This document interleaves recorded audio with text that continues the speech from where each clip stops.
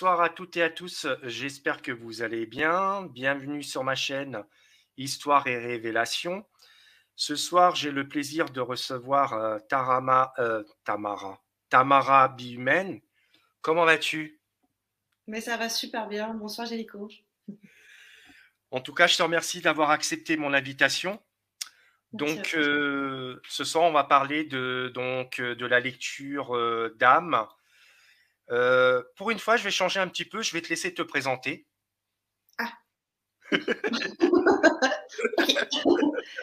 ok. Euh, me présenter, eh ben, donc je suis Tamara Bigman. Euh, je travaille en tant qu'accompagnante depuis 2007 dans le coaching, dans la thérapie. Mais mes canaux de perception se sont réouverts de façon assez fulgurante. En 2015, je dis fulgurante parce que ça s'est passé lors d'une séance, il y a tout qui s'est ouvert d'un coup. Donc j'ai cru que je devenais folle en fait. Hein. Ça a duré plusieurs, euh, plusieurs jours à regarder mon plafond. Donc qu'est-ce qui se passe? Qu'est-ce qui se passe? Et puis c'est grâce à mes clients euh, que j'ai pu commencer un petit peu à organiser tout ça et à, à, à, comprendre que bon, il se passait quelque chose, que c'était de l'ordre du don et que je pouvais le mettre au service du collectif.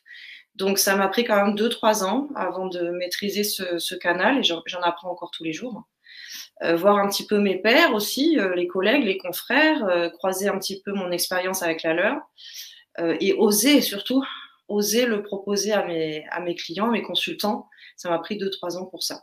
Donc maintenant, je fais ce qu'on appelle un petit peu pompeusement des lectures d'âme, ce dont on va parler aujourd'hui. Ouais. Euh, et en association avec mon, mon, bagage de coaching, de thérapie, euh, la lecture d'âme nous permet de mettre une petite punaise, si tu veux, pour dire bon, alors c'est quoi la direction? Ce fameux alignement dont on entend parler beaucoup là. Donc c'est où la direction? Et puis derrière, euh, je les accompagne tranquillement, tout doucement, à dissoudre l'ego et à s'aligner avec leur âme. Donc à, à, déjouer un petit peu les mécanismes de l'ego, maîtriser le mental, maîtriser les émotions. Pour moi, la, la médiumnité est certes un, un don. Je suis dans une gratitude quotidienne, mais je reste persuadée que chaque être humain est branché euh, plus ou moins en conscience et que déjà ça passe par la maîtrise de soi. Donc je maintiens ces accompagnements aussi à la maîtrise du soi, pas en termes de développement personnel et développer l'ego à fond là, mais au contraire maîtriser le mental, les émotions, être en harmonie avec le corps physique, savoir décrypter un petit peu ces messages, faire le grand nettoyage dans nos tuyaux pour pouvoir recevoir les informations de notre âme. Voilà. C'est ça. En gros, on peut dire que aussi c'est euh, euh, d'aller au plus simple, quoi. Ce qu'on a bah oublié. Mais oui, on revient à quelque chose de bien plus simple, sans, sans nos programmations, sans nos conditionnements, sans nos croyances. Euh, autant faire ce peu sans nos peurs, sans nos doutes, sans nos illusions.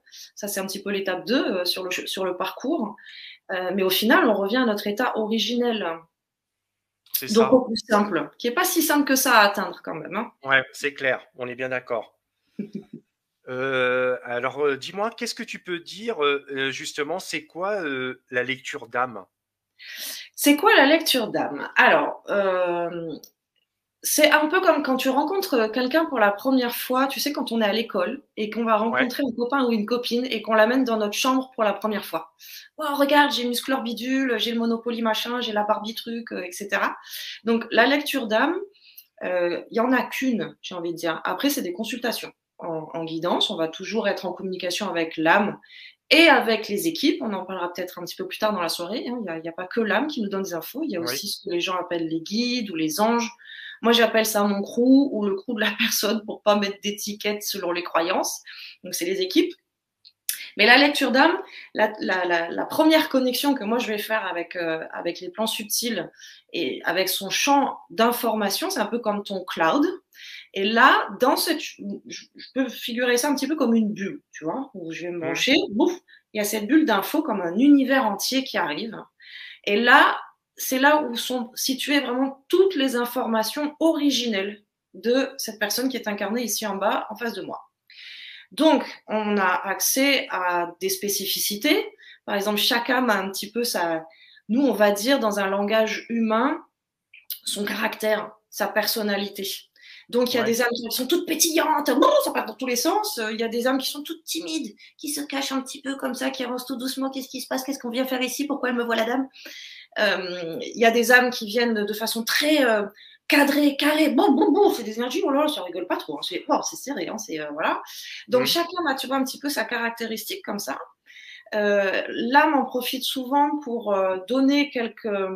Alors ça dépend. Il y a des âmes qui viennent vraiment me faire comme un show, tu sais, comme la, la représentation de fin d'année, euh, pour, pour dévoiler justement ces informations originelles, qui je suis, quel que soit l'ego en bas qui est incarné, qui je suis, au-delà des incarnations, mon essence originelle.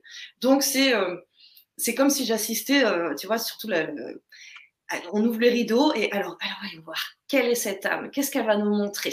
D'accord? Ça passe beaucoup par de la symbolique. Parfois, dès la première euh, consultation, les âmes viennent chercher, parce que j'ai aussi le canal de guérisseuse, c'est pas des formations, c'est ce que mon corps est. Et donc, parfois, les âmes, dès la première séance, viennent d'abord réclamer de la guérison, euh, que ce soit sur le plan mental, émotionnel ou physique. D'accord? Dans ces cas-là, là, euh, c'est des sujets qu'on va pouvoir explorer ce soir si on a le temps, mais dans ces cas-là, euh, il est possible que l'âme m'amène sur des vies qui étaient avant, là où le problème, c'est encodé. C'est un petit peu comme un ordinateur, si tu veux, 1-0, où il va y avoir un bug et l'âme, du coup, va me montrer, voilà, ce bug, il vient de cette vie-là, en fait. Donc, si on veut le résoudre ici et maintenant, il va falloir le travailler là-bas. D'accord. Et euh, comment euh, ça t'est venu, justement, cette euh, lecture d'âme D'un seul coup ou, tu t'es posé, ou tu as, quelque, as fait quelque chose de particulier ou Comment ça t'est venu ce truc-là pour justement? Alors, euh, sur mon parcours, donc moi j'étais accompagnante, euh, comme je dis, depuis 2007, coaching thérapie. L'humain a toujours été ma passion, passion, passion. Moi, j'étais passionnée de trois trucs quand j'étais petite les baleines, les fées, les humains. Je me suis dit, bon, pour en faire un boulot, les fées, ça va être compliqué. Les baleines, j'ai eu mes enfants très tôt, donc partir tout le temps sur, en mer, ça va être compliqué aussi. On va prendre les humains. Donc, j'ai tout misé sur l'humain. C'est une vraie passion depuis que je suis toute petite. Ils sont super nombreux, ils sont tous différents. Une vie va pas suffire. Donc là, j'étais sûre que j'allais pas m'ennuyer. Donc j'avais des bagages quand même déjà euh, bien costauds en termes d'accompagnante, en termes de formation et de pratique quand les canaux se sont réouverts. Sur mon parcours, c'est pas très original, mais c'est un, un deuil. J'ai perdu le papa de ma fille aînée en 2015. Et c'est quatre mois après ce décès que mes canaux se sont ouverts d'un seul coup pendant une consultation.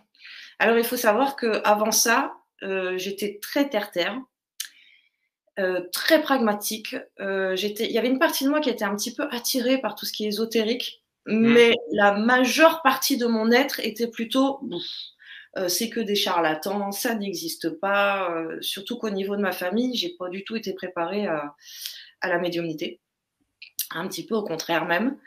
Euh, donc, effectivement, quand ça m'est arrivé au cours d'une séance d'un seul coup, j'ai cru que je devenais folle et que ce décès était euh, l'étape de l'épreuve de trop, quoi, que, que, mmh. j'arrivais pas à dépasser ça. J'avais les odeurs euh, de, mon ex-compagnon, donc son parfum, j'avais des messages. Je, je, pensais vraiment que c'était l'histoire d'un deuil que je n'arrivais pas à passer, que mon cerveau me repassait des trucs en boucle. Et puis quand, euh, quand cette cliente est arrivée, euh, c'est une personne que je ne connaissais pas du tout, hein, j'avais jamais fait de séance avec elle. Elle est venue en cabinet, en présentiel. Et c'était pour une histoire de couple, tu vois, elle a eu plusieurs échecs dans, dans, sa vie amoureuse. Et là, elle voulait se faire accompagner en coaching parce qu'elle a trouvé le prince charmant euh, et qu'elle voulait pas se louper cette fois-ci. Donc elle demandait du coaching. Euh, on est en 2015. Euh, à aujourd'hui, les demandes d'accompagnement ont totalement changé. Mais à ce moment-là, c'était pour ça qu'on venait me chercher. Bon, entre autres. Et puis pendant cette séance, euh, donc je suis en exploration. Du coup, moi, je découvre cette personne. Je vais voir si oui ou non euh, j'ai envie de bosser avec elle, etc. Si on va pouvoir bosser ensemble. Donc je me pose des questions moi dans ma tête. Et les réponses apparaissent. Alors la première chose que j'ai eue en visuel, ça a été un énorme pouce comme un pouce Facebook en haut de mon plafond dans mon cabinet. Mais vraiment de façon euh, nette, quoi. La, la, la vision euh, nette. Bon, euh, j'étais un petit peu surprise. Et puis, du coup, il n'y a pas de pouce Facebook dessiné dans le plafond de mon cabinet, hein, quand même, je le sais. Du coup, dans ma tête, bon, je l'écoute, mais en même temps, moi, je suis. Et puis, je me, suis, je me suis posé la question de me dire, mais c'est un dialogue. Parce qu'en fait, à chaque fois que je me posais une question, j'avais la réponse qui apparaissait mmh. concernant cette dame-là. Donc, euh, donc, je me suis dit, mais c'est un dialogue. Là, à nouveau, il y a eu le pouce. quand je me suis posé la question, c'était un dialogue. Et puis j'ai reçu l'information de bah, demande à la cliente qu'elle te montre une photo. Donc euh, bon, je la coupe et je dis excusez-moi, euh, est-ce que vous auriez une photo de Prince Charmant? Et cette dame avait son appareil, son téléphone en réparation. Donc elle, fouille dans son sac et elle me sort un téléphone, tu sais, de près mmh. qu'on a prêté avec une qualité euh, de pixels pas, pas géniale, mmh. quoi. Tu vois, c'est pas le dernier, le dernier truc là. Donc, elle me sort ça et en même temps qu'elle sort son, téléphone, de mon plafond à nouveau tombe, comme une petite feuille morte toute jolie là, une photo. Tellement réelle que je me suis levée pour l'attraper et je l'ai dans la main. Alors moi, je tremble, hein. plus que la feuille morte. Hein. Je dis, qu'est-ce qui se passe? Parce que je ne comprends pas ce qui m'arrive à ce moment-là. Et je me retrouve donc avec cette photo subtile, mmh. hein, qui n'existait pas en fait dans la matière, et de l'autre côté le téléphone. Et là où j'ai eu très très peur, parce que c'était vraiment la première euh, expérience que j'ai eue, j'ai eu très peur parce que cette photo-là, qui n'existait pas dans la mhm. matière, était d'une meilleure qualité que ce que j'avais sur le téléphone. C'était pas exactement la même photo, par contre c'était exactement le même prince charmant, c'était sûr, il y avait ma photo. Mais celle-ci était de meilleure qualité. Donc voilà, ça s'est passé comme ça, j'ai eu euh, très très peur. Et ta, cliente, et ta cliente elle a eu quoi comme réaction? Alors c'est là où c'est juste magique. Euh, je ne sais pas si c'est comme ça pour les collègues, mais avec moi, c'est mes clients qui m'apprennent. c'est mes clients qui m'apprennent parce que cette dame, elle était moins surprise que moi de ce qui m'arrivait. Visiblement, elle avait certainement déjà consulté des médiums ou des voyants, tu vois, des gens qui sont en mmh. para. Euh, puisque quand elle m'a vu me lever et puis qu'elle a vu ma réaction, là, elle m'a dit Vous voyez quelque chose? Donc, euh, je balbutie. Euh, et à chaque, à chaque étape dans mon évolution professionnelle, à chaque fois, je suis sur le même schéma où les clients sont moins surpris que moi de ce qui est en train de se passer. Ça a été le même schéma pour de la guérison, où pareil, le corps s'est mis à guérir et puis bah, euh, la cliente que j'avais au bout du fil était moins surprise que moi, c'était par téléphone la cliente était moins surprise qu'elle me dit ah c'est génial et tout euh, ça y est je suis guérie mais j'ai passé des semaines et des semaines à lui envoyer des textos en disant ça va toujours ça va toujours ça va. Bah oui ça va euh, lâche-moi. Mais moi j'y croyais pas quoi. Euh, donc à chaque, nouvelle étape dans mon évolution en termes de dons de potentiel de capacité c'est à chaque fois la clientèle qui vient me le valider parce que bah, je suis un humain et même si je travaille sur moi beaucoup, je manque encore de confiance en moi. Enfin, tu vois, c'est un petit peu le garde-fou qui fait non. Je suis toujours la première à être très émerveillée de sérieux, on peut faire ça, mais c'est génial, quoi, tu vois? Donc, mmh, euh, mmh, mmh. c'est toujours ce même schéma. Euh, c'est rigolo. Sinon, euh, comment ça se concrétise visuellement quand tu vois comme la fameuse photo que tu, que tu as dans ta main et l'autre côté, tu as ton portable? Sauf que la photo, tu la vois pas physiquement, mais tu la vois quand même. Mmh. Comment euh, tu peux euh, visualiser, euh, nous décrire un petit peu ce, que toi tu vois justement? La meilleure façon de le décrire, c'est imagine un hologramme, mais qui va se densifier, densifier, densifier, densifier. Ce que m'a appris les, les séances suivantes, et là c'était plus dans la guérison que j'ai appris cette leçon-là, c'est que le premier travail qu'on a à faire, c'est d'effacer toute trace, de, toute trace de doute. Donc je vais faire un peu la gamine là, mais c'est comme le disait Peter Pan, si tu n'y crois pas, tu le verras pas. Euh, donc la meilleure façon de traduire, c'est ça, c'est comme un hologramme, sauf que là, la qualité des pixels, la densité de l'information est tellement concentrée que c'est presque de la matière. Et c'est ce que j'avais là en termes justement de qualité, c'était oh, je la sentais pas. Dans la mmh. main, je ne sentais pas ni un poids. Bon, en même temps, tu me une photo, c'était pas très lourd. Mais je ne sentais pas d'informations dans ma main. Tout était concentré au niveau visuel ce jour-là. J'ai eu d'autres expériences où, même euh, de façon invisible à l'œil nu euh, dans la matière, j'ai pu ressentir des sensations de Oh putain, c'est lourd Donc, cette information, elle peut aussi se ressentir en termes de densité, de poids. Oui là où j'ai beaucoup appris, donc euh, là c'était plus sur une séance de, guérison, où justement moi j'étais euh, en train de bah, d'œuvrer, hein, d'opérer, de guérir, un petit peu comme de la chirurgie éthérique d'ailleurs, si on peut le dire comme ça. Et donc, bon, je te le donne en, cours, hein, mais en fait j'étais en train de recoudre.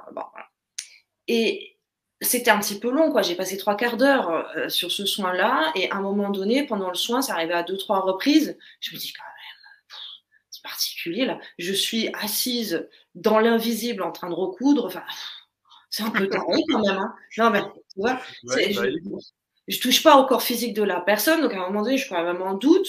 Et je doute et tout s'efface. Je vois rien. Oh, mince, parce que j'ai pas fini, moi, du coup je me reconcentre et bam, ça réapparaît. Là, c'était très particulier. Mon cabinet s'est totalement transformé en salle d'opération avec les, instruments, avec euh, tout. Il faut savoir, moi, dans cette vie, je suis pas médecin. Hein. donc, euh, donc c'est vraiment la guidance qui me dit, tu fais ci, mmh. tu prends ça. Je dis, ouais, mais les gars, euh, vous êtes trompés de, de, figurant. Allez voir un médecin pour faire ça, tu vois. Et, et pendant ce soin-là, à deux ou trois reprises, j'ai eu ce mouvement de bascule entre le doute, donc revenir dans mon mental, revenir dans mon ego, ça veut dire ça en fait, hein, de m'observer plutôt que d'être, et vous, l'information, comme un hologramme qui devient de plus en plus euh, transparent, et là, hop, le cabinet réapparaît, j'ai plus les informations, je peux plus travailler dessus. Est-ce que ça, ça répond à ça Comment on voit? Ça, ça c'est pour la clairvoyance. Pendant les séances, il euh, n'y a pas tout le temps la clairvoyance de façon aussi. Euh, qu'est-ce que je vais utiliser comme adjectif euh? Explicite. Ouais, merci. De façon aussi explicite. Il peut y avoir aussi une télépathie visuelle. Donc, dans ces cas-là, l'âme va me montrer, bah, par exemple, justement, des scènes d'une de, vie précédente, d'une vie antérieure. Et c'est un petit peu comme si j'avais. si ça reste comme de l'hologramme, mais c'est en transparence. C'est-à-dire là, quand ça m'arrive, je vois mon cabinet de consultation. Mmh. Ça vient se superposer, mais en transparence. Alors que quand c'est de la claire vision, ça remplace la densité et l'information.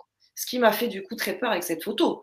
Euh, la première fois que ça m'est arrivé, parce que je me suis dit, ah, je suis mal barré, hein, parce que si, euh, si c'est plus précis, plus réel que la réalité, euh, tu vois, je vais... ma vie de tous les jours va être compliquée. Et, en fait, non, ça va. D'accord. Et est-ce qu'au jour d'aujourd'hui, on peut dire que c'est quelque chose que tu, entre guillemets, tu maîtrises? Quand je parle de maîtrise, est-ce que c'est quelque chose qui t'arrive pouf d'un seul coup? Ou c'est vraiment quand tu, quand tu es dans ton cabinet ou que tu es avec la personne, avec la personne avec qui tu es, ou c'est vraiment quelque chose qui, qui arrive n'importe quand, comme ça? Alors, jusqu'à ce printemps, je t'aurais dit, oh, ça va, je maîtrise je maîtrise. Mmh. Euh, c'est pas que en cabinet, ça peut être euh, à partir du moment où je pose une question. Donc il y a, deux choses. Il y a soit ça concerne une autre personne, et auquel cas, bon bah il faut que la personne me demande. Hein, c'est pas intrusif. Je vais pas moi euh, regarder quelqu'un et puis pouf. Ça m'est déjà arrivé ceci dit, hein, de regarder un petit peu trop longtemps un, petit papy qui était en train de faire de la de, du surf, là, qui était en train d'apprendre à faire du surf. Je trouvais ça trop mignon. Moi, j'étais en train de le regarder. Oh là, Baf J'ai eu toutes ces informations euh, du corps euh, médical, j'allais dire, son dossier médical qui m'est arrivé, qui m'expliquait qu'en fait, il était en rééducation, blablabla. J'ai pas demandé tout ça. C'était un peu intrusif. C'est une des seules fois où ça m'est arrivé, où j'ai compris que, et si je me pose des questions, j'ai les réponses. Euh, du coup, quand ça concerne une autre personne, c'est très intrusif. Je ne fais pas mmh. ça. Je ne fais pas ça. Donc, il faut que la personne me demande. Euh, il y a aussi cette notion, bah, ça c'est un petit peu mon, code éthique, hein, qui fait que si tu ne demandes pas, je suis pas là pour être la sauveuse, hein, donc si tu me demandes pas, je vais pas t'apporter, euh, tu vois, voilà. Donc ça c'est quand même l'élément déclencheur. Il faut qu'il y ait une question hein, pour que ça, pour ça, ça déclenche de l'information. Ça c'était jusqu'à ce printemps. Ce printemps, je suis partie voir euh, un couple d'amis, meilleurs amis, qui sont en Martinique en ce moment. Et je suis partie en vacances, moi. Je suis pas partie pour travailler. Bon. Donc, euh, mais par contre, je suis partie avec, certes, l'intention d'être en vacances et de profiter de mes amis, mais aussi la curiosité, parce que j'avais déjà été en Martinique, mais beaucoup plus jeune, de découvrir cette île sur l'aspect historique. Mmh. Parce que quand j'y suis allée plus jeune, je me bossais par. Euh, hein, bon. Alors que là, j'ai ah, tant qu'à être sur place, ce ne sera pas le but du voyage, mais si on pouvait inclure deux, trois visites un petit peu plus sur l'histoire de cette île, ça serait pas mal. Donc, c'était un peu, tu vois, dans, mon, dans les questions, dans mon cloud à moi, c'était là, quoi. Euh, Qu'est-ce que j'ai pas fait? Parce que bah, voyager en tant que médium, c'est pas la même. Tu as, posé la question, bah, tu vas savoir. du coup, tu vois, visite dans une distillerie que je nommerai pas, j'ai pas pu la faire, la distillerie. Je, me suis fait acculer d'informations qui étaient pas très jolies, hein, des pendus, de la torture, de l'esclavage. C'était beaucoup, beaucoup, beaucoup trop dense. la totale, quoi. Mes amis ont dû me sortir de là. Mm. Donc j'ai envie de te dire, oui, je maîtrise dans le sens professionnel. Sur le côté perso, je fais encore des bêtises. Hein. Je, suis une apprenante à vie, quoi. Donc il y a eu ce voyage en Martinique qui m'a bien montré que, eh ben, si tu poses la question, tu le sauras. Euh, pareil, j'ai fait l'expérience ben, de facto d'aller dans un cimetière. Hein. on est tous amenés à faire des enterrements, à faire des machins. Bon, ben, je suis repartie avec un school bus d'entités à, à nettoyer. Je suis rentrée dans ce cimetière comme si j'étais pas médium, naïvement. Donc, j'ai pas mis en place tout ce qu'il fallait pour nous. Euh, cap d'invisibilité, euh, non, non, je, ne fais que passer, je viens pas travailler. Donc, j'en apprends encore tous les jours sur ce canal et sur, sur son champ des possibles. Mais euh, justement, par rapport à ça, est-ce que tu te sens pas des fois te, te mettre en danger? Je m'explique quand je parle de danger. Il suffit que tu aies une vision et tu sois au volant d'une voiture, là tu te mets en danger. Ben j'en ai pas. J'en ai pas parce que comme je te dis, c'est quand même un état de réception, le, canal. D'accord. C'est quand même un état de réception, d'une part. Et d'autre part, euh, allez, 90% du temps, c'est une transmission télépathique. Donc c'est une communication télépathique. Donc je peux complètement être en train de conduire, même covoiturer des gens. Euh, les amener d'un point à un point B, donc être encore plus concentré si tu veux. Et en même temps, c'est plus euh, effacer son mental et son ego. Donc, tu vois, quand tu conduis, tu n'as pas forcément besoin de, cette, euh, de cette partie de toi pour mener à bien, aller du point A au point B en toute sécurité. Ça ne t'empêche pas d'avoir une conversation avec la personne qui est à côté. Mais là, c'est la même chose. Ça ne m'empêche pas, tout en conduisant, d'avoir la conversation avec la personne qui est à côté et avec euh, son âme euh, qui est au-dessus de nous. C'est une conversation. Ok. C'est pas dangereux en ce hmm. sens-là, non. Il y a Flouber qui te pose une question qui demande quelle est la différence entre un ego et une âme? Oh, ça, c'est une tellement bonne question. Je te remercie de l'avoir posée. C'est la base. C'est vrai qu'on en parle comme ça entre nous là, mais euh, oui, c'est la base. Écoute, ton ego, c'est vraiment la somme de ton identité terrestre. Donc, euh, rappelle-moi son prénom. Euh, c'est Flou, euh, Flouber. Flouber. Flouber, si tu étais né au Japon, ton ego serait déjà un petit peu différent. Ton ego, il est rempli déjà de ton nom, ton patronyme. Hein. Chez les Dupont, on ne fait pas pareil que chez les Durand, par exemple. On n'a pas les mêmes cultures, on n'a pas les mêmes habitudes, on n'a pas les mêmes croyances. Ça, ça fait déjà partie de ton ego. Euh, il est rempli aussi de tout ton conditionnement, donc ton éducation euh, sociale, culturelle, familiale, historique, euh, géographique. On n'a pas les mêmes us et coutumes aux États-Unis, encore une fois, qu'au Japon. On n'a pas les mêmes croyances collectives. Donc, tu vois, ton ego, il s'est construit de tout ça, plus de ton expérience de vie terrestre, qui fait que dans cette vie-là, tu es un garçon et tu pas une fille, par exemple. Ça change déjà tout l'expérience que tu aurais pu vivre sur cette planète si tu avais été incarné en tant que fille et non pas en tant que garçon.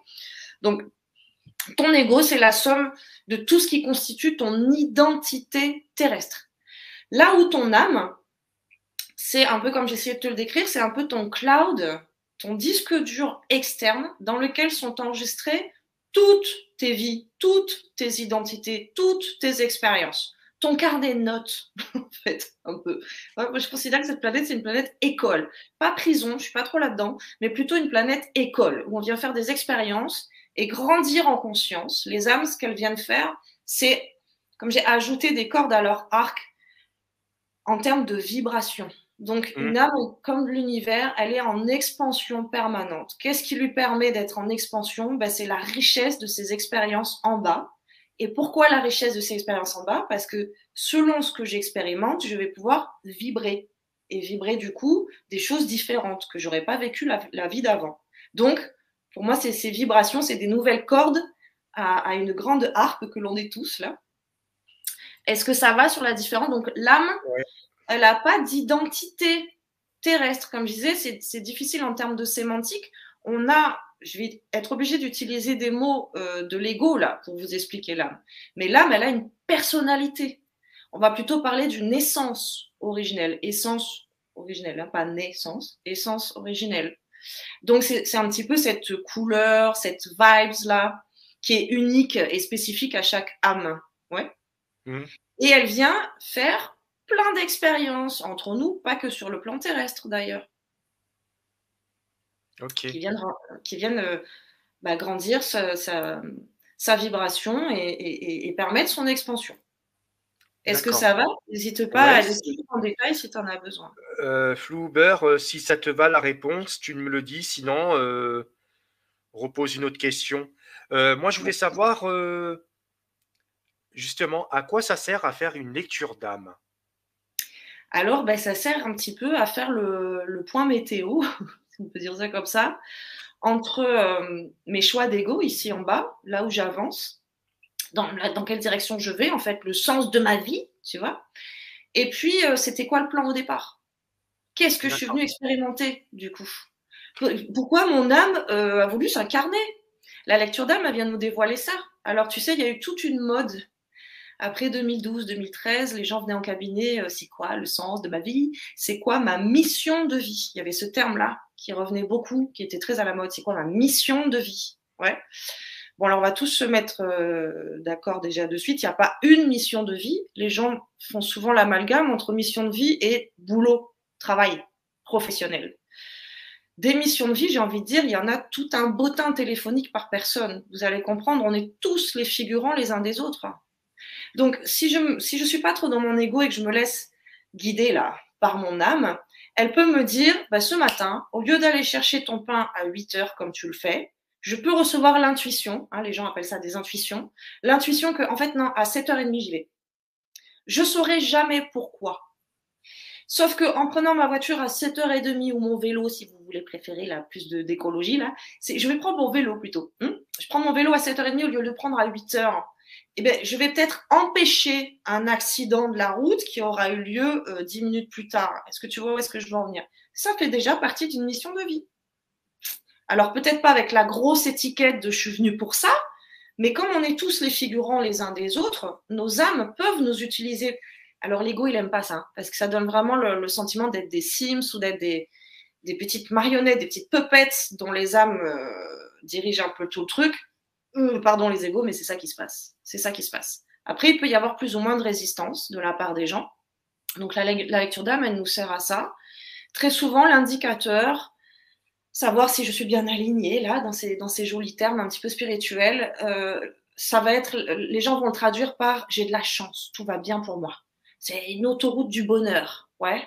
Ah, j'ai dit, oh là là, qu'est-ce qu'elle a comme chance, celle-là qu'est-ce a... Non, c'est pas de la chance, c'est de l'alignement. Ça veut dire que je suis vraiment pile en dessous. T'imagines une cascade. C'est ton âme qui t'envoie, bon, je suis du Niagara.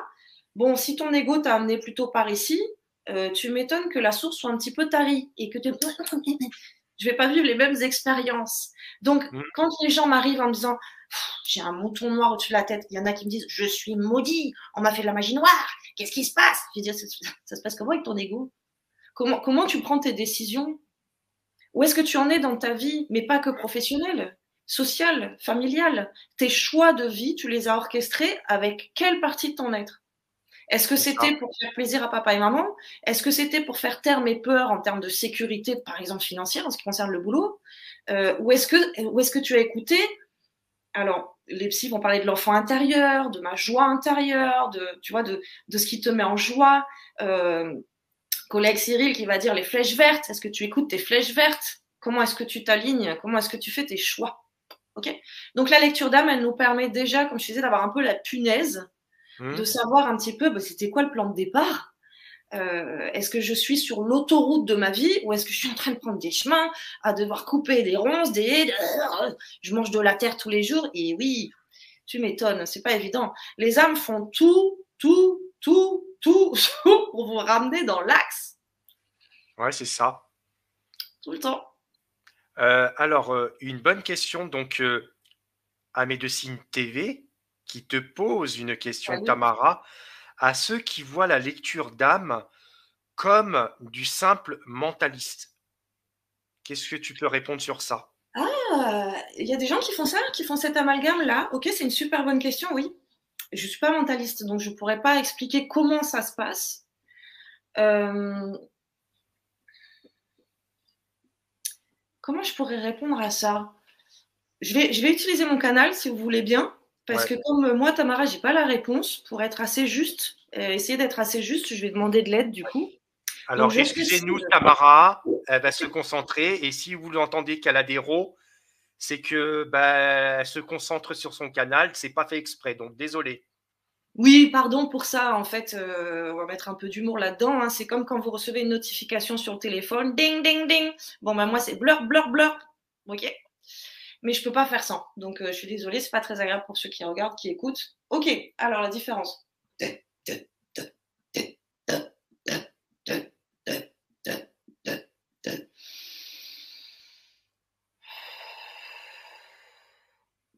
Ok, super, merci. Le mentaliste, il va décoder, décrypter justement ce qui est euh, encodé dans l'ego, dans la perception égotique de la personne. Alors que dans lecture d'âme, on va décoder euh, ce qui est inscrit dans le champ électromagnétique de la personne, dans son âme.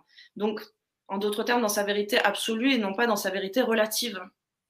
Est-ce que je développe?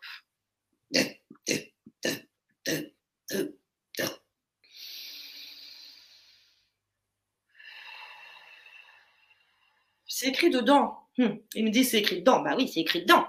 Le mentaliste, il travaille euh, avec les données qui sont encodées dans votre ordinateur de bord, en bas, le mental. La lecture d'âme, elle va délivrer des informations dans ce qui est encodé dans votre disque dur externe, le cloud, l'âme. D'accord. Moi, je suis incapable de lire ce qu'il y a dans votre tête. Hein. Incapable. Je... Ouais. Euh, alors, euh, pourrais-tu m'expliquer quelle faculté nous permet de savoir qu'une âme est une âme? Oui. pas compris la question. Alors, pourrais-tu m'expliquer quelle faculté nous permet de savoir qu'une âme est une âme? Je réfléchis et je, vais demander de l'aide à nouveau parce que là, je ne suis pas sûre de, comprendre la question.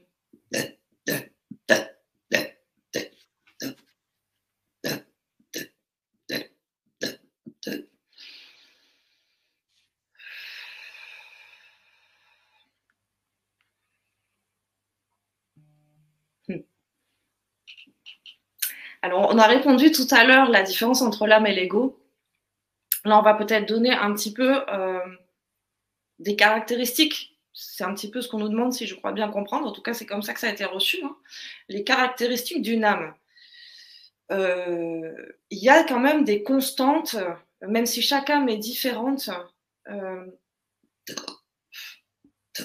lorsqu'elles sont au bon endroit, j'allais dire, donc pas coincées là ici en bas, hein, donc en lecture d'âme, c'est ce qu'on fait. Hein. je ne fais pas des lectures d'âme à des morts.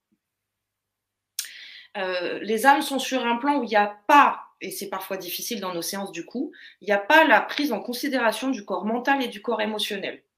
Donc j'allais dire pour une âme, c'est toujours, bah, c'est facile, il y, a il y a énormément de légèreté, énormément d'amour. Je ne veux pas passer pour bisounours, mais clairement, euh, c'est pas un hasard si tous les médiums euh, parle de cette notion d'amour inconditionnel de l'autre côté. J'en fais l'expérience tous les jours. C'est baigné d'amour. Alors, pour vous le faire comprendre, de non-jugement. Il n'y a pas de jugement de l'autre côté. Il n'y a pas cette notion de dualité. Et encore de l'autre côté, j'aime pas trop cette euh, appellation parce qu'en fait, c'est en même temps. C'est comme les poupées russes. C'est des mondes qui sont en, même temps, qui se juxtaposent. Donc, une des caractéristiques qu'on pourrait dire de, des âmes en général, c'est cette notion de légèreté, de pas concerné par les émotions, pas concerné par le mental, pas tellement concerné non plus par la notion de temps. Euh, et surtout beaucoup d'humour. Même pour les âmes qui sont les plus concentrées, parce que comme je t'ai dit, ça m'arrive de travailler avec des âmes où l'euro, je rigole pas. C'est costard cravate. Euh, même quand moi et mon équipe, on essaye de faire un peu d'humour, en face, c'est non, non, c'est sérieux, ok, c'est sérieux. mais malgré tout, il y a quand même toujours cette, cette notion de il peut y avoir de la notion de concentration. Voilà, c'est ça. Chez les âmes les plus cadrées, tu vois, euh, tu vas avoir une notion de concentration pendant la séance. Voilà, c'est important. ok, super. Mais ça reste quand même avec énormément d'humour et d'amour. D'accord. Est-ce que ça répond à la question? Je ne suis pas sûre que ce soit assez complet, mais c'est déjà une première piste. Peut-être euh, la personne pourrait euh, développer ou préciser sa question. Ouais. Est-ce que tu peux, repréciser ta question, s'il te plaît euh, Attends, je vais la remonter. Peut-être cette personne voulait parler d'âme et non pas de euh, entité. Ou euh, c'était peut-être ça sa question plutôt. Oui. On peut y aller là-dessus. moi, j'ai un indicateur qui est très très simple. Quand, quand j'ouvre mon canal, je travaille que avec mon âme, l'âme de mes clients et nos équipes.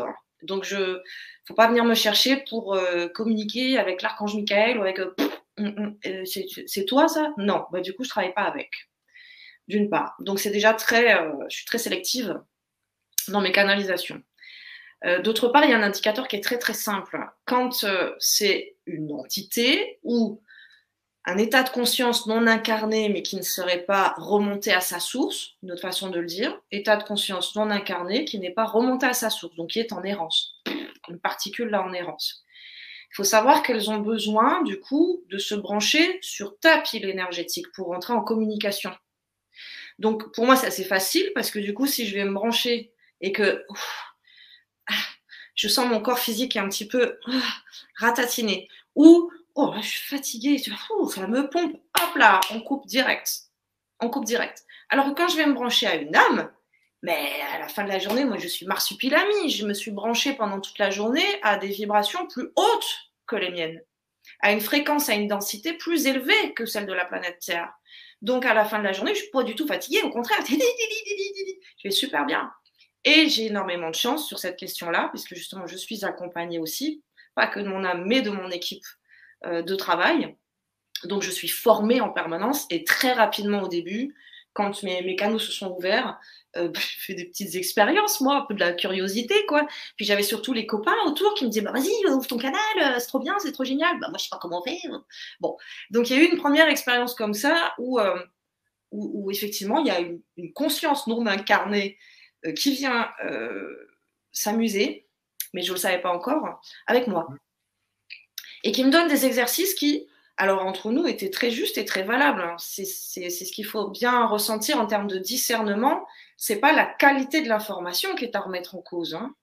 L'ombre détourne la vérité, mais elle utilise la vérité pour vous séduire. Hein. Ça, il faut bien le comprendre. C'est plutôt justement tous les autres indicateurs qu'il faut aller ressentir et non pas la qualité de l'information reçue ou la véracité de l'information. Elle peut être très juste, mais provenir d'une source très basse. Et c'est ce que j'ai vécu. Donc, cette, euh, cette conscience non incarnée me propose des exercices, parce que moi, j'étais en, début, là, en démarrage, donc je voulais muscler mon bazar, le maîtriser, etc. Et me dit, tiens, bon, on va faire les jeux, tu sais, où tu mets des gobelets avec une balle à l'intérieur. Mmh. Donc, j'avais un ami qui était là avec moi, qui me demandait, ah, vas-y, ouvre ton canal, ouvre ton canal. Et puis, donc, ça fonctionne, j'ouvre le canal. Il me donne cet exercice, il me dit, bon, bah, vas-y, ferme les yeux. Le pote, il mélange le bidule. Et moi, cette entité, je vais te dire où est la balle. Donc on fait ça une fois, deux fois. Oh, c'est trop génial, oh là là, ça marche et tout. Ah, je me trompe jamais et tout. Oh, super. J'avais encore l'ego qui croyait que c'était moi qui me trompais pas. Je n'avais pas encore compris que c'était lui. bah, à cette époque-là, je pensais que c'était moi qui étais trop forte, tu vois. Bon. Et, euh, et, pendant le truc, et je sens. Ah, c'est trop génial, mais donc l'ego est grisé, oh youpi, c'est trop bien, c'est super. Mais tout le reste de mon corps est par contre, et là j'ai vu, mais alors vraiment, vous vous moquez pas de moi, euh, comme la marraine, la bonne fée, un petit point bleu qui arrivait. Et je te, je te décris la façon la plus précise que je l'ai vécu, hein, vous ne moquez pas. Mais ce petit point bleu est arrivé à donner littéralement un coup de coude à cette entité en disant on va prendre le relais, merci. Et je me suis pris mon premier petit soufflet de la part de mes guides, euh, et en tout cas de la part de ce guide-là qui me dit Alors, on fait pas ça du tout, en fait. Hein. tu pars pas t'amuser comme ça toute seule. Donc, m'a donné ses codes et m'a décrypté. Du coup, regarde dans quel état tu es. Donc, ma, ma première leçon, mon premier apprentissage a été ce jour-là. où, ce guide m'a montré, regarde dans quel état, regarde tes indicateurs, ne regarde pas la joie de ton ego, la satisfaction mm. personnelle de ah, ça marche, j'y arrive. Ouais, mais regarde dans quel état tu es. Regarde tes autres corps, regarde tes plans. Voilà, ça c'est un indicateur hyper valable. Ok, donc j'ai aussi beaucoup de chance d'être justement euh, en apprentissage tous les jours, donc d'avoir une équipe qui, qui, me drive et qui me protège beaucoup, beaucoup, beaucoup de toutes les bêtises que pourrait faire un gamin qui arrive dans un monde. Ah, c'est très génial. Non, ça. va pas à ce monsieur. Non, il a tout fait la main, on fait pas ça. non, on n'accepte pas les bonbons des inconnus quand même. c'est clair. Euh, toujours euh, flou beurre je me questionnais plutôt sur la faculté qui permet de connaître les âmes que sur les âmes elles-mêmes. Que pourrais-tu dire sur cette faculté? La faculté de connaître les âmes? Euh, Questionner plutôt sur la faculté qui permet de connaître les âmes. Oui, tout à fait. J'ai du mal à comprendre ta question. Euh, en fait, comprends bien, c'est comme si tu me demandais la faculté de connaître les humains. Il bah, faut les côtoyer. Et en côtoyer plein, plein, plein, plein, plein, plein, plein. Ouais, voilà. Tout à fait. connaître les âmes, je ne peux pas dire que je connais les âmes. il y en a trop plein. Il y en a. c'est vraiment. Comprends, c'est la même chose que tu me disais. C'est quoi la faculté de connaître les humains? Eh bien, bienvenue sur Terre. Tu vas voir, ils sont tous différents. Il euh, y en a qui sont bienveillants, il y en a qui sont tristes, il y en a qui sont en colère, il euh, y en a qui sont créatifs, il y en a qui sont rigolos. Les âmes, c'est presque pareil. Ouais, il faut en côtoyer plusieurs. Bah, de toute façon, on n'a jamais fini. Même avec les humains, on n'a jamais fini. Alors, Mélissa, elle dit qu'elle arrive trop tard pour la réponse et à la question principale. Est-ce que la lecture d'âme s'adresse à tout le monde? Est-elle nécessaire pour toutes les personnes en demande? Eh bien, Mélissa, bienvenue. Il n'est jamais trop tard, jamais trop tôt. Et non, nous n'avions pas répondu à cette question. Donc, merci de l'avoir posée. voilà. Euh, j'ai envie de te dire qu'à partir du moment où ça te vient te titiller, où ça vient de poser la question, c'est que tu es prête à recevoir tes réponses. Euh, pour faire la démarche d'aller euh, consulter une lecture d'âme, c'est pas tout à fait la même chose que de la voyance, tu vois. D'ailleurs, moi, je fais pas de voyance, pas de prédiction. Ça fait pas partie de mon, de mon panel de potentiel. Mais quelque part, j'ai envie de dire, si tu es déjà un petit peu attiré par de la lecture d'âme, c'est que tu as déjà un petit peu cheminé déjà. Tu t'es déjà posé un petit peu des questions, euh, même si tu saurais pas définir, ou tu vois, comme on vient de dire avec la réponse précédente, dire, oh, les âmes sont toutes différentes. Hein. Euh, donc, définir c'est quoi une âme, etc tu as déjà un tout petit peu conscience que tu n'es pas que un ego. Donc, tu es déjà prête à, recevoir cette information. Il y a quelque chose de, de, allez, je vais utiliser le mot d'assez magique dans les lectures d'âme. Euh, ça m'est déjà arrivé à plein de reprises, je ne saurais pas les compter. Euh, des gens qui s'assoient en face de moi qui me disent Mais écoute, vrai, je suis là, mais je sais pas trop pourquoi. Eh ben, t'inquiète. Ton âme, elle le sait. Ce que je veux dire par là, c'est que c'est des rendez-vous d'âme à âme. Il n'y a jamais de hasard. Si tu orienté vers telle personne, tel médium, tel praticien, ce sont l'association de plein de synchronicités. Donc, c'est déjà faire confiance à ton âme, quelque part, que de pas mettre de résistance. Et c'est le plus gros travail qu'on a à faire. L'essentiel de notre travail, c'est de ne pas mettre de résistance. Comme on disait au tout début de l'émission, finalement, être branché à son âme, c'est revenir à son état originel. Les enfants, ils sont là-dedans. Hein. C'est pas, c'est pas qu'une image très jolie quand on dit ça. Donc, mettre le moins de résistance, c'est donner le moins de pouvoir à mon ego, qui peut se poser plein de questions, qui peut être dans son mental, qui peut être dans ses doutes, qui peut avoir plein d'attentes. Et même les personnes qui arrivent à moi comme ça dans cet état de, je sais pas, qu'on peut traduire par de la curiosité. Moi, je suis OK avec ça. Ah, c'est parce qu'on est curieux qu'on fait des grandes découvertes. Donc, même si les personnes m'arrivent en disant, bon, je sais pas, moi, je viens voir ce que c'est. Hmm. Hmm. En général, c'est l'âme qui les a envoyés. Je vais te raconter une petite anecdote euh, en termes de guérison. Une des toutes premières séances de guérison que j'ai eues qui m'a fait comprendre qu'il se passe un truc à nouveau là. Qu'est-ce que c'est? Euh, Donc là, ça faisait bien 2-3 ans que j'avais le canal médionique qui était ouvert. Il faut savoir que les gens prennent rendez-vous sur mon, sur mon site sans passer par une secrétaire ou sans passer par un coup de fil, etc. Ils prennent leur rendez-vous, point barre. Hmm. Donc, il y a un rendez-vous qui est placé sur l'agenda parmi les autres, hein, je ne fais pas attention. Moi, j'ai mal au doigt là, à l'index pendant trois jours et trois nuits, comme si je tu vois, comme si j'avais mal dormi et tout. Donc je me masse. Qu'est-ce qui se passe? Bon, tu vois, ça passe. Hein, c'est pas, c'est pas, c'est pas handicapant. Et puis euh, cette, cette cliente arrive. Donc on est par téléphone. J'ai même jamais vu de ma vie cette cliente. On est par téléphone et elle vient me voir pour une reconversion professionnelle. Donc, bon, ben, je fais ma première séance de découverte, pas en canalisation. Elle venait pas chercher de la médiumnité, elle venait chercher du travail en coaching, en, thérapie, en accompagnement. Ok, donc euh, on fait la petite séance de découverte. Euh, bah, t'es qui, tu veux quoi, euh, ça va se passer comment, etc. etc. Ouais, normal, quoi. Normal. Et ma guidance, moi, s'ouvre et me dit parle-lui un peu de sa main. Isabelle, parle-lui de sa main. Bon, bah, je fais confiance. Il dit Excuse-moi, Isabelle, rien à voir avec le débat là, mais qu'est-ce qui se passe avec ta main? On est par téléphone, je te rappelle. Ah, bah c'est marrant que tu me demandes ça, euh, parce qu'en fait, j'ai un doigt qui s'atrophie complètement, la médecine ne sait rien faire avec, doigt complètement crispé, recroquevillé, hyper douloureux, euh, un peu comme de l'arthrose, là, mais que sur un seul doigt. La médecine ne sait pas quoi faire à faire, c'est assez douloureux.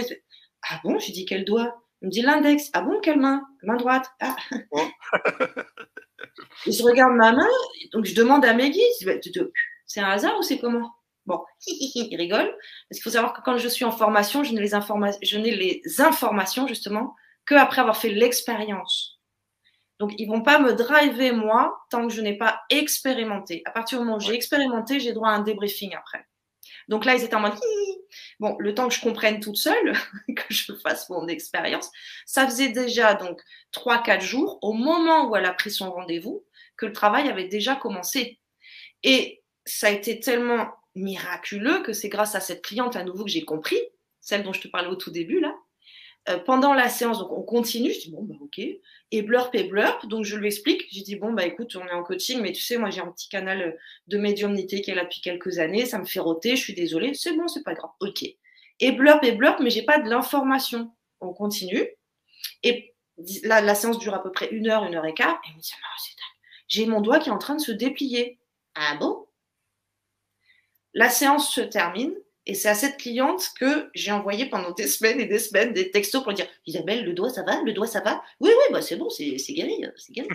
oh ah bon? On peut faire ça aussi? Waouh Donc tout ça pour te dire que les séances de lecture d'âme sont jamais le fruit d'un hasard, mais plutôt de beaucoup de synchronicité, d'une orchestration digne de, de, de l'horlogerie fine, euh, la plus raffinée que tu puisses trouver.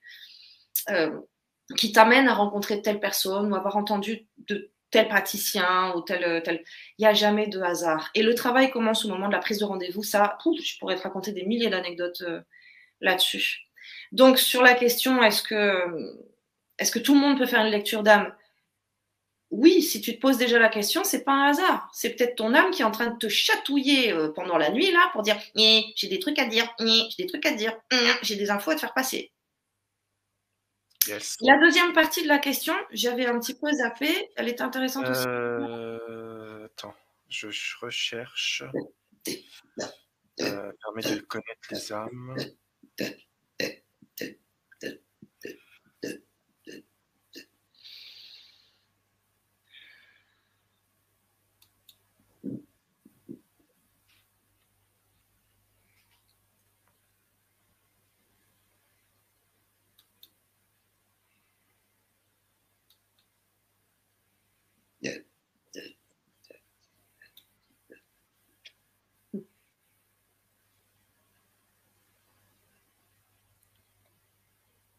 Oui. Ah, c'est à moi que t'attendais hmm. Oui, c'est toi que j'attendais. Non, j'étais en train de me faire un petit débrief euh, sur, ah, euh, sur, la mais ils m'ont dit tu es parti un peu en dehors de la question. Hein, euh, c'est pour ça que je. c'est pas grave. Ils sont rigoureux. Hein. Tu sais, des fois, dans les séances, des petits 1, petit 2, petit 3. si moi je pars en live, hop, hop, hop, alors on reprend petit 2, ok. Euh, j'ai Nathalie euh, Botton qui te pose la question. Elle me demande est-ce que tu travailles euh, à distance? Oui, c'est ça qui est assez difficile à expliquer de façon pragmatique ou de façon scientifique. Hein. L'anecdote que je racontais par rapport au doigt, ça s'est fait par téléphone. Donc là, on n'est même plus sur de la lecture d'âme. Cette dame, elle n'a pas eu sa lecture d'âme. Son âme est venue chercher son rendez-vous Elle est venue, elle, en croyant que c'était pour du coaching. Et au final, elle s'est fait guérir son doigt par téléphone en une seule fois. Mais oui, du coup, il y a les séances par téléphone. Pour les soins, je préfère par téléphone parce que déjà que j'ai des rots, mais en plus pendant les soins, je peux avoir des fluidifications, donc le nez qui coule, euh, ou de la bave.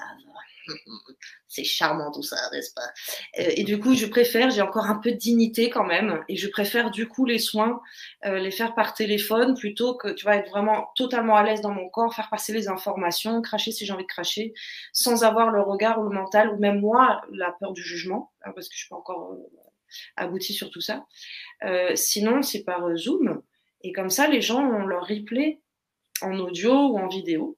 Parce qu'il faut savoir que je ne peux pas mémoriser ce que je canalise. Ça ne mmh. passe pas par mon mental. Je ne m'en souviens pas cinq minutes après. Euh, ça passe comme ça, ça, passe comme ça, ça, ça, vient et ça part comme ça, ça. comme ça vient. C'est pas des choses qui sont analysées, déduites, réfléchies. ah ça j'ai compris un truc, je vais le dire à l'autre. Pas du tout. Alors qu'en coaching, oui. En coaching, en thérapie, c'est vraiment euh, mes mmh. connaissances que je vais mettre au service du client. En guidant, c'est bouf, je suis une paille. Et, comme on disait un petit peu plus tôt, euh, mon boulot à moi, c'est de m'appliquer à ce que le mental, il se tait. Donc, c'est un exercice au début, mon ego était pas du tout content hein, de la médiumnité, mais pas du tout. Là, on pourrait dire, ah, t'as trop de la chance. oui, sous la chance, sauf que j'ai étudié, moi, l'humain pendant des années. Je me suis payé je sais pas combien de nuits blanches à étudier du Freud, des formations, des machins, des bidules.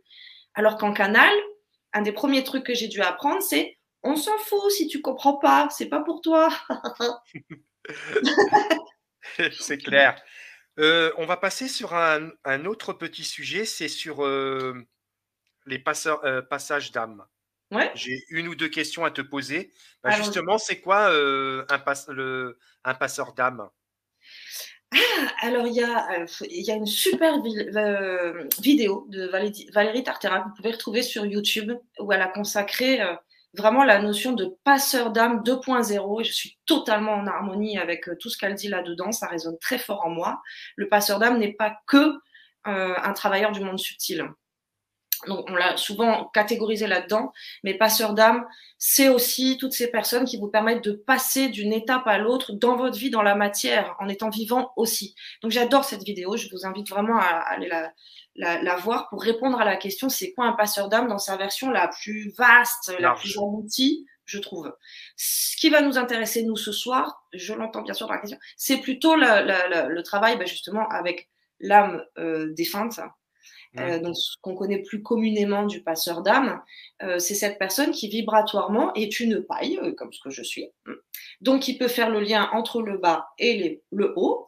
En tant que médium, je reçois des infos, je les amène en bas jusqu'à mes clients, mais en tant que passeur d'âme, je récupère de l'info en bas et je la remonte en haut. L'information étant les résidus qui sont encore présents dans cette vie-là, et qui n'ont rien à faire ici et qu'il faut remonter à leur source, à leur plan d'origine. Euh, vulgairement, on va parler des fantômes. C'est ça, un passeur d'âme. C'est un Ghostbuster, sauf qu'au lieu de prendre le fantôme et le mettre dans une grosse machine euh, bizarre, là, comme un aspirateur, comme dans le film, euh, on les fait passer par nos tuyaux pour les renvoyer sur leur plan en haut. D'accord. Ça t'est déjà, déjà arrivé d'en voir ou pas du tout? Eh bien oui bah d'en pratiquer. Moi, je, pratique aussi le passage d'âme, même si c'est pas euh, l'essentiel de mon activité, c'est de travailler avec des âmes euh, incarnées, hein, donc des gens en face qui viennent faire des lectures d'âme et de la guidance. Mais évidemment que, bah, tu vois, par exemple, mon séjour en Martinique, je l'ai senti passer. Ou quand je vais me balader dans un, dans un cimetière et que je reviens avec je sais pas combien d'entités, euh, comme je dis, dans, dans le covoiturage là, d'entités, en mode bah, merci les gars. Bon, donc oui, bien sûr que c'est arrivé. Euh, on peut me demander aussi de venir nettoyer des endroits. J'ai pu nettoyer des restaurants, des terrains. Euh, et là aussi, c'est assez mystérieux parce que ça se fait à distance aussi. On n'a pas besoin d'être sur place. Euh, j'ai un collègue qui a tellement développé ça qui peut créer, on va utiliser des mots là, hein, mais qui peut créer un vortex, donc une autoroute, sans que ça passe par lui ou par chez lui. Donc il envoie les défunts avec un Google Map là. J'ai créé un vortex à cet endroit-là. Si tu veux remonter, c'est par ici que ça se passe. Ça, moi, de faire. D'accord. Juste pour info, euh, derrière, tu vois, tu as des ailes euh, d'ange. Oui. Eh ben, tu sais ce que je vois, moi, derrière? Je vois, un, je vois un homme avec un chapeau. Ah bon? Bienvenue entre, entre les deux ailes, je vois un homme avec un chapeau. Oui, tout à fait. Je vois la silhouette euh, en, en, négatif, là, que tu vois. tout à fait, c'est vrai. Bienvenue à lui. voilà. Euh, dis-moi, euh, est-ce que on peut aujourd'hui parler à son âme et comment? Mmh Bonne question. Ouais, c'est une super bonne question. Alors pareil, je vais me faire aider un petit peu parce que j'ai bien mon idée moi ici en bas, mais je préfère euh, aller chercher plus haut les infos.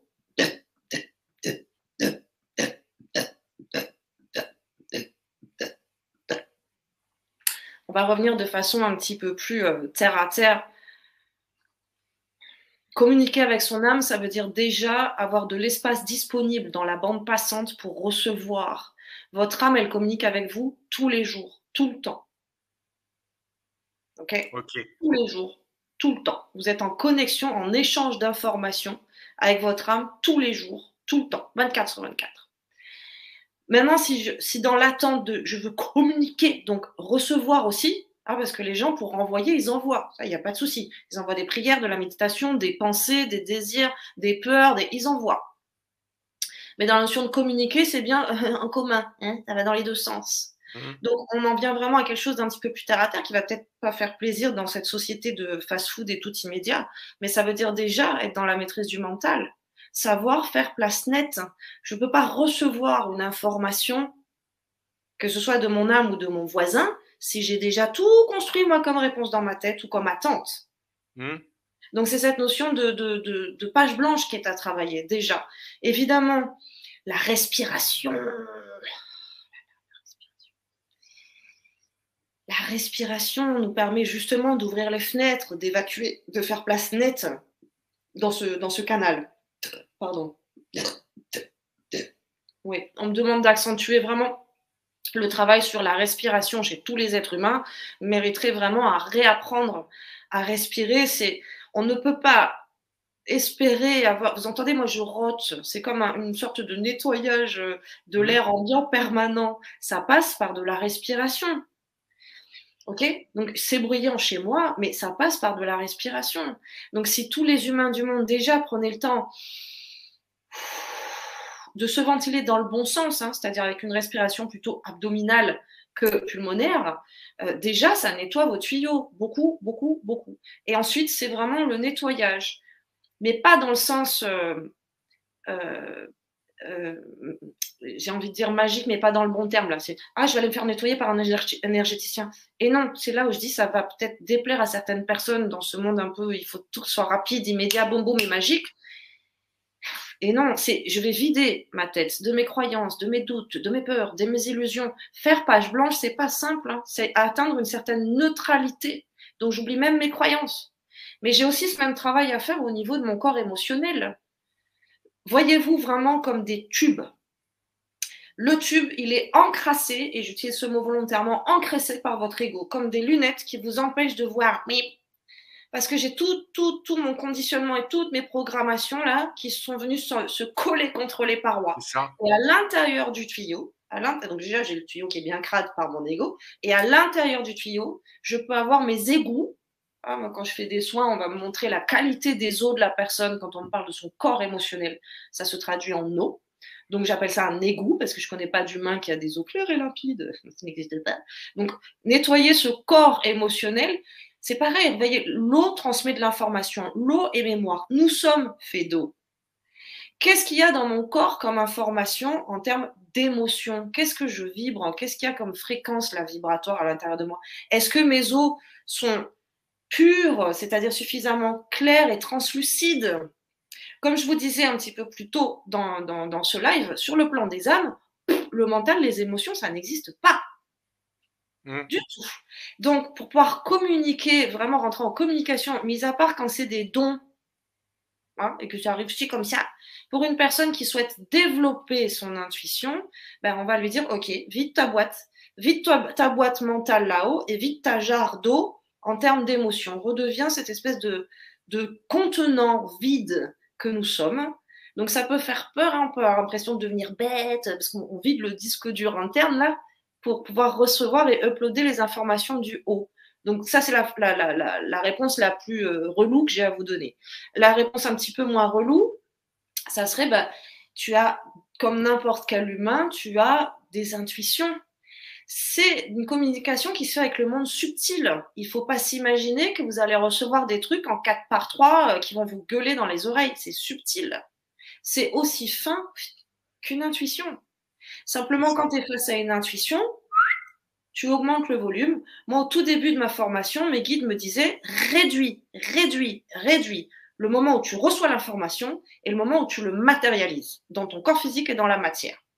Donc, si on te dit va chercher le pain à 7h30, si tu reçois ce truc-là, prends ton vélo et vas-y à 7h30 plutôt que 8h.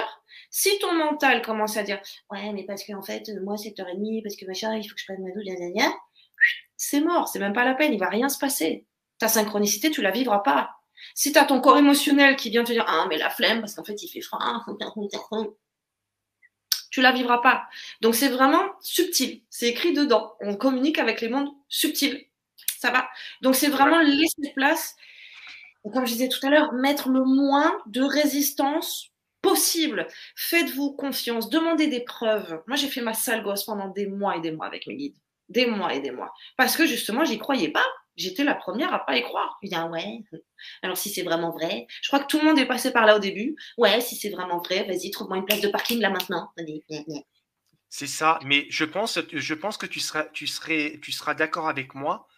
Déjà, l'être humain, si euh, il attrape son intuition, c'est déjà un grand pas. Parce que souvent, quand on a son intuition, souvent l'intuition, c'est la, la première, c'est la bonne. Et le problème, c'est que les humains, on a tendance à l'oublier, ça. On l'oublie ou alors on le fait passer dans notre passoire, dans nos filtres. On y réfléchit, euh, on la met en ouais, mais est-ce que oui, est-ce que non, euh, vraiment euh, ou pas. tu vois, l'intuition, par exemple, justement en conduisant, dire ah, je vais prendre plutôt à droite. Et comprenez un truc, c'est que moi, j'ai eu besoin de beaucoup de preuves parce que je suis une grosse sale gosse. Donc, auprès de mes guides, je les ai emmerdés pendant longtemps prouvez-moi, prouvez-moi que je suis pas folle, prouvez-moi, prouvez-moi. Ils ont été patients, mais patients. Jusqu'au jour, ils m'ont dit, bon, écoute, demande la preuve ultime là. Parce qu'en fait, c'est pour le collectif. C'est pas pour toi. Donc, on peut perdre encore du temps et du temps et du temps à te rassurer toi dans ton petit ego. Mais ce canal, c'est pour œuvrer pour le collectif. Donc, demande la preuve ultime. Celle où vraiment tu vas arrêter de tous les jours nous demander une place de parking, un machin, bidule. je les avais en plus, mes places de parking, mais ça me suffisait jamais. Donc, je leur ai demandé la preuve ultime pour moi, euh, qui, a, fait, OK, si, si, ça, ça se passe là, j'arrête de vous faire chier, c'est bon, je me mets au service du collectif. J'arrête avec ça. Demandez des preuves, d'une part. Et de façon presque antinomique, bah, quand vous êtes en guidance déjà. Et d'une façon presque antinomique, j'allais dire, quand il y a une intuition, au contraire, il faut lâcher prise sur la preuve. Si j'ai l'intuition qui me dit, prends à droite, mais je saurais jamais qu'à gauche, il y avait des travaux si j'ai pris à droite. Par contre, si je n'ai pas écouté mon intuition et que je suis partie à gauche, je vais râler en me disant ah, les travaux, les j'aurais mieux fait de prendre à droite. J'ai eu la preuve dans la matière que j'aurais dû écouter cette intuition. Mais quand je l'écoute, c'est toujours pour du mieux. Ça, il faut, faut bien le comprendre aussi. Hein. L'ego, il peut avoir du mal avec ça. Hein. Je me souviens mmh. d'une anecdote comme ça où je, sortais de mon cabinet de travail. Et bon, à Montpellier, à le tramway. Donc, je finis ma journée dans la matière, commence la deuxième journée, donc les textos, les mails, euh, tu vas répondre aux clients, etc. etc. Bon. Et donc j'avais mon, téléphone, j'étais devant mon, cabinet, je dois traverser une route, avancer un peu et récupérer le tramway. Je suis déjà sur mes mails, moi je veux que ça se passe vite et je suis un peu fatiguée, j'ai envie de rentrer chez moi. Voyez ce que j'ai oublié de dire, c'est que sur cette journée-là, euh, justement, la dernière séance, j'avais pas trop bien envie de la faire. J'avais pas le cœur à la faire. Ça n'avait rien à voir avec cette personne-là, mais moi j'étais un peu fatiguée, je voulais rentrer chez moi. La vie est super bien faite. Je reçois un texto qui me dit euh, Tamara, je pourrais pas être à l'heure. Euh, on remet à la semaine prochaine. Whoopi Super, merci. Ça va me permettre, moi, de finir ma journée plus tôt. Donc, je sors de mon cabinet, je fais mes mails et tout. La guidance me dit euh, Cours le tramway. Qu'est-ce que Tamara, elle a fait, sale gosse, là? Oui, ça va, hein? je, ça va. Je finis mes mails, gna, gna. Mmh. Je te jure, ça s'est passé comme ça. Je suis arrivée j'ai eu le temps de toucher le devant du tramway, le conducteur m'a vu et il a démarré. Ça s'est joué à quelques secondes près, quelques secondes de sale gosse d'ego de mon côté, parce qu'à ce stade-là de mon expérience, j'avais un peu l'impression justement d'être un sim. Tu vois, mon ego, euh, la guidance, ça va bien cinq minutes, mais c'est des injonctions, c'est du ci, fais ça. Bon, ça va, je suis pas une marionnette aussi, je peux choisir. Ah, l'ego, il aime bien choisir. Je peux choisir. Mmh. Oui, tu peux choisir, mais on n'est pas là pour t'emmerder. On n'est pas là pour te soumettre, on est là pour t'aider. Donc, c'est ça.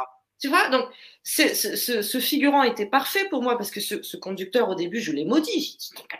Tu me vois, tu me vois, j'ai touché le bout de ton tramway, le bout du nez de ton tramway. C'était quoi une seconde de plus pour me récupérer? Le tramway est parti.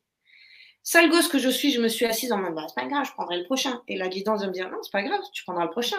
Mais on t'a libéré l'espace pour que tu finisses plus tôt. Et là, tu vas passer ce temps-là, au lieu d'être chez toi tranquille, à attendre pendant 20 minutes le prochain tramway alors que tu as émis le souhait d'arriver chez toi plus tôt. Tout ça parce que mon ego a fait de la résistance par rapport à une intuition. Bon, c'était plus l'intuition, c'était déjà de la guidance hein, au moment où j'ai vécu ça, mais où la guidance me dit cours pour le tram. Ça va, je fais ce que je veux aussi, c'est bon. Mmh. Donc c'est là qu'ils m'ont appris réduit. On n'est pas là pour te soumettre, on est là pour t'aider. Donc effectivement, quand l'intuition elle te dit prends à droite, tu n'auras pas la preuve que c'était mieux par là. Par contre, si tu l'écoutes pas, oui, tu vas faire l'expérience que c'était moins bien de l'autre côté. C'est ça. Euh, est-ce qu'on peut parler aussi un petit peu des annales euh, akashiques? Tu peux me dire ce que c'est? Alors, l'expérience que moi j'ai, moi je peux parler que en termes d'expérience, hein, ce que je faisais quand on a préparé la, l'émission. Voilà. Alors, pour moi, les expériences que j'ai eues, euh, visuellement, j'ai vu une bibliothèque dorée immense, magnifique. Et, pas de moi, mais quand j'ai fait cette expérience-là, j'étais, tu sais, comme avec le badge euh, visiteur only, quoi. J'étais pas du tout habilitée à travailler avec les analogues Par contre, j'ai eu le privilège euh, d'être accompagnée par mes guides pour visiter le truc. Bon. Donc, si je dois te donner une image, visuellement, il est énorme, énorme. Bibliothèque et tout doré. Je sais pas pourquoi, mais c'était tout doré, doré, doré. Ok, ça c'est ce qu'on m'a montré, ce que j'ai vu. Si tu me demandes, ça ressemble à quoi? Voilà ce que moi j'ai vu. À quoi ça sert maintenant? Euh, bah, J'ai été amenée quand même à travailler plusieurs fois justement sur des vies antérieures. Et ça a été à chaque fois, euh, à aujourd'hui en tout cas, pour des notions de guérison. Donc c'est en allant travailler justement dans une vie antérieure. Et pour aller chercher cette vie antérieure, il faut bien remonter une notion d'espace-temps qu'on va dire encoder. Alors Anal akashique, moi, j'aime pas super top ce mot-là, parce qu'on s'imagine quelque chose de figé. Or, on est des êtres multidimensionnels. Donc, tout coexiste en même temps. Il faut mieux se le représenter comme une poupée russe pour moi. Mmh. Celle que j'ai été et celle que je suis, mais c'est en même temps. Et ça correspond plus aux expériences que j'ai vécues par rapport à des annales qu'on peut s'imaginer. Un truc, c'est écrit, c'est gravé et ça bougera plus jamais. Euh, je pense à une jeune femme, alors accrochez-vous, c'est totalement insolite. Hein. Je pense à une jeune femme qui avait des sortes de phlébites au niveau des jambes que la médecine ne pouvait pas du tout euh, soigner. Et c'était très paralysant pour cette jeune femme. Elle vient me voir, ok, on va voir ce qu'on peut faire. ça m'amène dans loin, loin, loin en arrière. Et il se trouve que cette dame, dans une autre vie, elle a été, tu sais, ben justement au temps de l'esclavage, etc., elle a été pendue par les pieds par euh, des blancs très en colère et qui n'avaient pas les doigts elle a été pendue par les, par les pieds. Et c'est cette information qui est restée encodée dans cette vie-là, ici et maintenant. D'accord. Donc, c'est bien en allant déjà déceler l'information. Quelle est cette information dans ton corps physique qui ne t'appartient pas à toi ici en bas en tant qu'ego, en tant qu'identité, mais qui est bien présente dans ton cloud, dans mmh. ton âme? Et donc, dans ce que les gens appellent dans tes annales akashiques, oui, tu l'as eu cette vie-là. Hein, tu en es même mouru. Mmh. Donc, nous, on est allé travailler dans cette vie-là. Dans le symbole, qu'est-ce qu'on a fait? Ben, On l'a détaché, on l'a libéré. Ça a pris peut-être, euh, je ne veux pas dire de bêtises, il faudrait que je le redemande. Tu vois, je demande. Ça a pris une dizaine de jours, elle n'a plus jamais eu de problème au niveau de la circulation sanguine de, de ses jambes. D'accord, donc elle est guérie aujourd'hui Elle est guérie aujourd'hui totalement guéri et de façon pérenne. Quoi. Ça n'est jamais revenu, comme la dame avec son doigt, que je n'arrêtais pas d'embêter. Ça va toujours, ça va toujours. Oui, ça tient. Ça tient dans le temps. Donc, ce qu'on ce qu'on va appeler les annales akashiques, pour moi, c'est le cloud. Euh, c'est vraiment le, le, cœur du disque dur. Ouais. Mais je ne les perçois pas comme quelque chose qui est gravé mais plutôt comme euh, une version de toi antérieure. Et ce qui est absolument euh, incroyable et où là, moi, ça me fascine, c'est de voir à quel point, ah bon, c'est-à-dire que nous, dans cette vie-là, on peut corriger des problèmes physiques qui sont la résultante d'une vie qui date d'il y a super longtemps. Mais je suis la première à être fascinée. Par contre, l'expliquer, j'aurais du mal. Je ne sais pas trop l'expliquer. Il faudrait que la science s'y intéresse vraiment. La science, je dis la médecine de nos jours, ce qu'on appelle la médecine, il serait vraiment temps qu'il s'intéresse à ça. Je serais la première à, à, être vrai ça peut être, ça peut être, intéressant parce que, comme tu l'as dit, euh, la jeune fille, au moment, au moment venu, quand elle a été pendue euh, par les pieds, peut-être son âme, c'est ça qu'elle a enregistré le, sa souffrance, la dernière chose qu'elle a vécue. Comme pour les animaux. C'est très souvent ce à quoi je suis confrontée quand on va travailler, quand l'âme, elle me ramène dans des trucs précédents. Très souvent, c'est une information. Alors, je vais, pardon, je vais vous donner une petite image. Quand, euh, quand on meurt, quand l'âme est hors du corps, la mort, euh, je, vois comme l'image d'un pêcheur, tu vois, qui remonte ses filets, qui remonte sa ligne. Bon, bah, en remontant son filet, il y a cette information-là qui est remontée en même temps, alors qu'elle appartient pas à ce qui doit être téléchargé en termes de, tu vois, d'information, elle appartient que à cette vie-là. Comme par exemple, je sais pas moi, euh, quelque chose qui appartient fort à l'ego. Hein, par exemple, moi, dans cette vie-là, j'ai des taches de rousseur. Ok, super. Ça appartient à mon identité génétique. Mmh. Euh, mon âme n'a pas des taches de rousseur, elle n'a pas de corps. Bon, si, si se passe un, un, problème, c'est quand il y a une information qui appartient justement à l'identité égotique et qui remonte en haut. Du coup, de facto, quand la personne revient, quand l'âme relâche ses filets dans la mer, là, dans un corps, dans un nouveau corps, elle revient avec. J'ai eu le cas d'une personne qui avait des spasmes et on nous a montré des spasmes. Ok, super, qu'est-ce qui se passe? Est-ce que c'est nerveux? Est-ce que c'est quoi? La médecine ne sait pas l'expliquer on est allé voir, elle est morte dans sa précédente expérience de vie, dans un crash d'avion où son corps est resté euh, en spasme pendant longtemps, comme un poulet à qui tu coupes la tête là.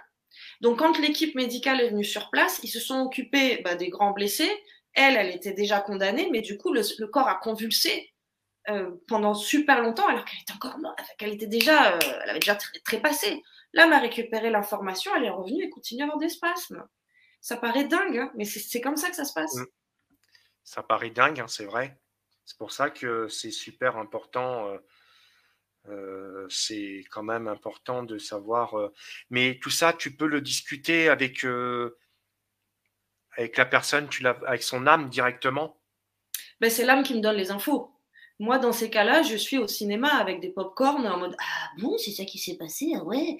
Je, donne l'information à la personne parce que déjà, le fait de connecter avec l'information, c'est pareil, je ne sais pas comment l'expliquer, mais le fait que la personne ait accès à cette information-là, ça fait déjà plus de la moitié du travail en termes de guérison.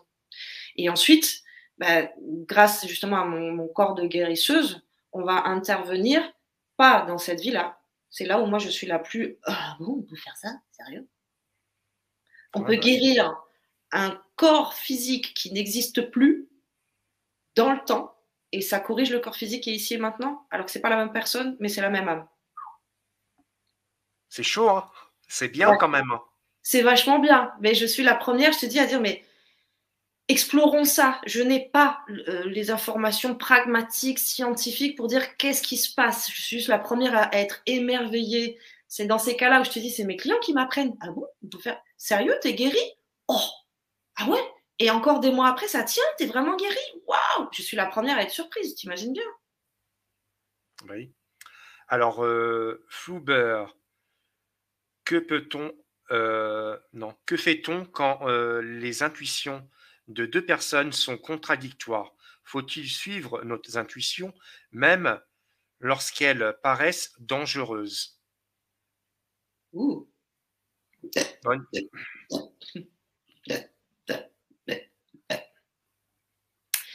Euh, tu seras jamais guidé par ton âme ou par tes guides vers quelque chose de dangereux ou de néfaste. Je te donne un petit exemple et ensuite je reviens sur ta question plus précisément. euh, comme on disait tout à l'heure, bien vérifier quelle est ma source.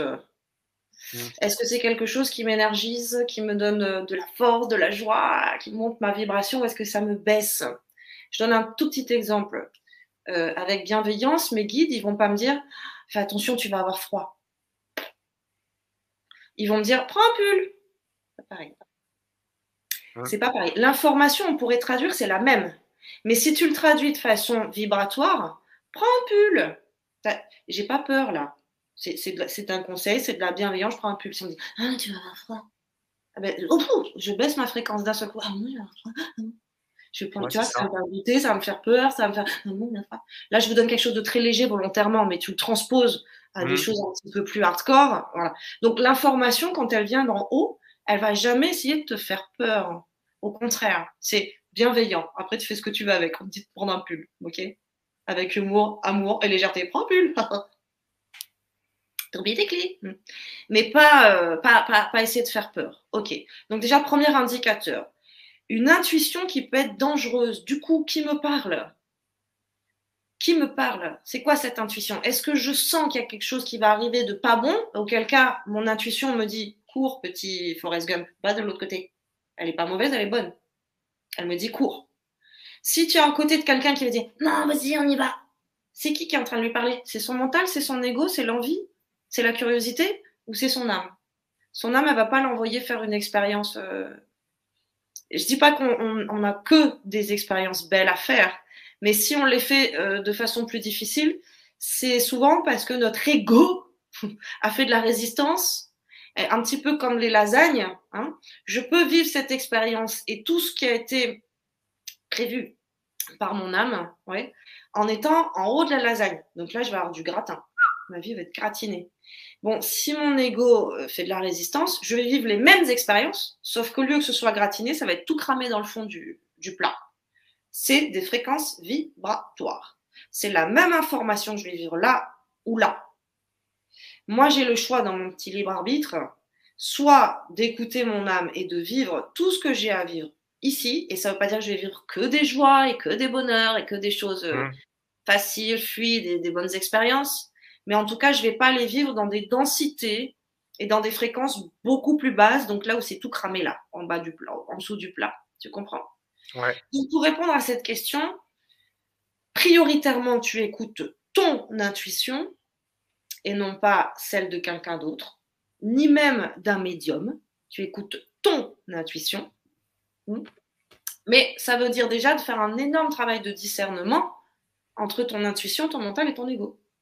C'est ça.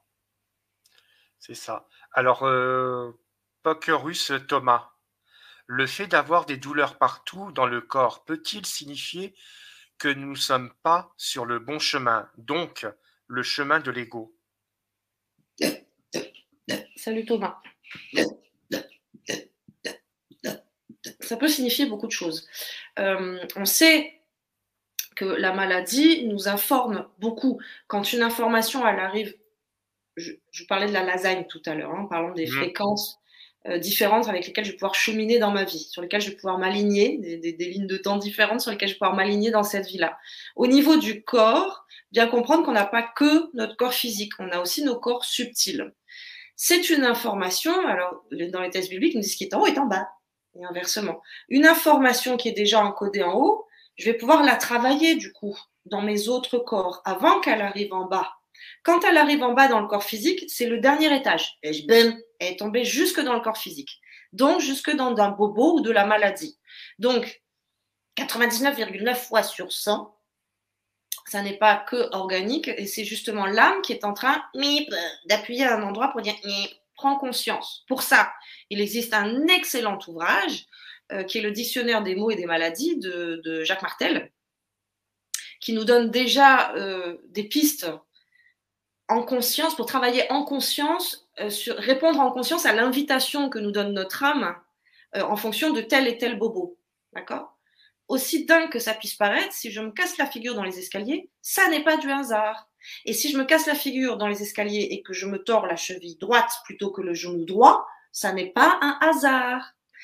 Pour en faire l'expérience, achetez-vous ce bouquin où il est gratuitement sur euh, Internet sous format PDF Donc faites l'expérience toutes les fois qu'il y a un truc qui ne va pas dans votre corps physique, d'aller regarder qu'est-ce que Martel il en dit de ça. Ça pourrait être quoi l'information que mon âme, sur quoi est-ce qu'elle m'invite à travailler en conscience? Donc il peut y avoir ça. Maintenant, dans ta question, c'est autre chose. Si j'ai des douleurs partout sur le corps physique, euh, qui, là, en ce qui te concerne, Thomas, pour moi, c'est plus du, euh, ça travaille, c'est du soin ou des entités qui s'accrochent. Alors, euh, par rapport à la question d'avant, qui, qui, dit, qui demande comment vérifier la source alors? Personnellement, je n'arrive pas à comprendre la euh, distinction.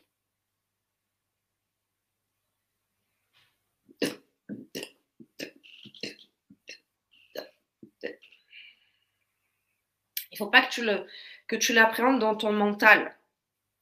Il faut que tu l'apprendes, comme je disais un petit peu plus tôt, dans tes autres euh, corps de perception, pas dans le mental. N'essaie pas de comprendre, n'essaie pas de savoir. Ressens. Ressens si ça te donne de l'énergie ou si ça t'en prend. Ressens si ça te fait être bien ou si ça te fait être fatigué, mal. Euh, ressens si quand tu te branches à cette information, tu as l'impression de faire 6 mètres de haut et 6 mètres de large, tellement Ou si au contraire, oui, ça me réduit, j'ai l'impression d'être toute petite, hein, d'être écrasée. C'est des sensations, c'est que dans l'expérience que tu vas pouvoir ressentir la différence. C'est pas dans le mental et dans la, dans la compréhension, dans la c'est pas dans le décryptage, dans le décodage mental. Sinon, on va encore tomber sur des croyances et sur des dogmes, sur euh, une dualité euh, que seul le, cognitif peut appréhender. Là, mmh. c'est vraiment ton corps physique, il est super bien fait. C'est comme une fleur dans la nature. La fleur dans la nature, elle ne réfléchit pas est-ce qu'il fait beau ou est-ce qu'il pleut. Quand il fait beau, elle est ouverte. Quand il pleut, elle se ferme. C'est exactement la même chose. Cette source dont tu parles, quand elle, quand elle, es connecté à ta source, oh, tu es tout ouvert comme une fleur. Tu es un champ vibratoire. Et comme c'est super bien foutu, quand tu es connecté à autre chose que ta source, c'est te ferme. Ça te met pas bien. Tu vas sentir toutes les parties de toi qui essayent de rejeter le truc là, de l'éloigner. Mais encore une fois, ça veut dire de faire taire.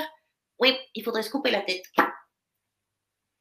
Qui veut savoir, qui veut comprendre, qui veut délimiter, les contours d'une information, c'est l'ego qui veut faire ça. C'est ça. Bah justement, euh, qui dit que ça veut dire que c'est l'ego qui met cette peur, peut-être.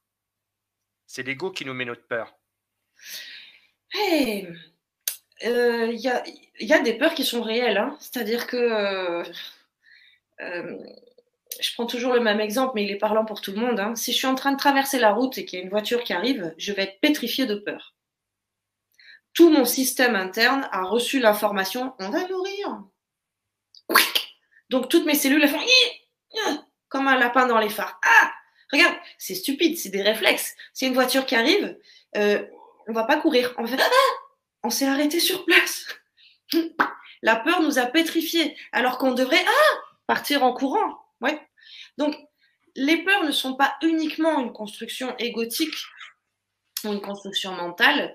Euh, pour aller beaucoup plus en profondeur, ben, je vous inviterai sur mon site, vous avez la formation Bioman qui est découpée en différents gros concepts là, bien indigestes, le mental, les égaux, les émotions. Je vous le fais en tout court ici et maintenant. Euh, l'ego, il se nourrit des émotions. Ça oui, tu as raison. Bien sûr que c'est l'ego qui va faire ça.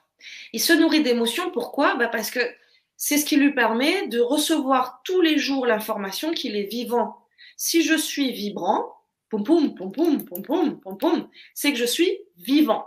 Donc, tant que je ressens des choses, je suis vivant.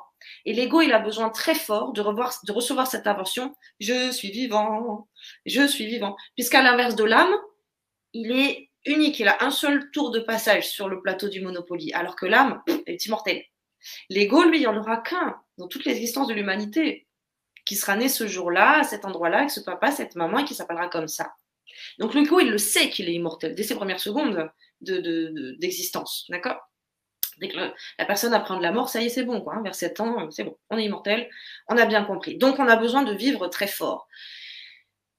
Dans cette société dans laquelle on est et de plus en plus en ce moment, le fast-food émotionnel qu'on nous donne à manger, c'est pas des émotions très joyeuses. Hein. quand on branche la télé, on n'est pas oh là là le vieux bel, on ne mange pas des émotions très bonnes. On mange des émotions basses.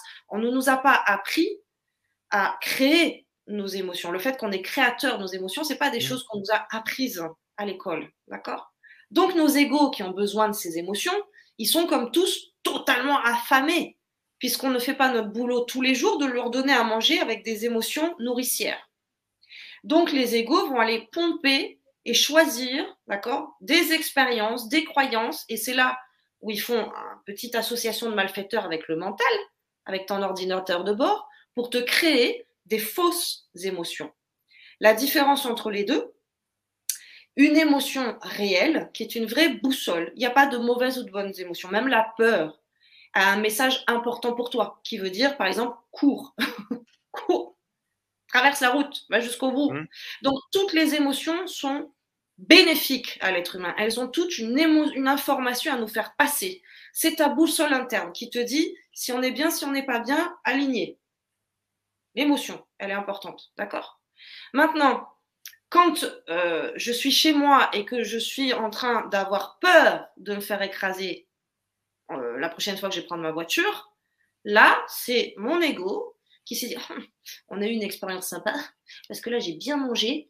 Comprends bien que quand je suis dans la peur, comme dans la tristesse, comme dans la colère, je suis très vivante à ce moment-là, même si ça me pompe beaucoup d'énergie, même si je suis pas au top de ma, de ma, de ma forme là, mais je suis très vivant. Quand j'ai très peur, quand je suis très en colère, je suis très vivant. Donc l'ego, il mange, il mange, il mange, il mange du fast-food, dégueulasse.